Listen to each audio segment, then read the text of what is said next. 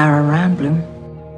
I don't know if she was scared of the consequences of locking me out of the school or if she just simply saw the writing on the wall when Luna reinstated me, but she ran. Dowling wouldn't have run.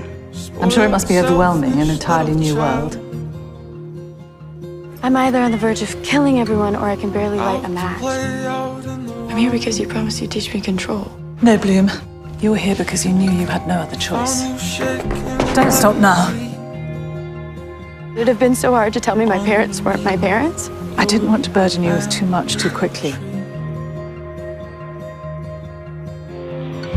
You should be in bed. And you should tell me the truth. I'm from Aster Dell. That's where I was born. That is, until you, Mr. Silva, and Professor Harvey destroyed it. I've, I've just been. It's forgiven. Did you kill her here?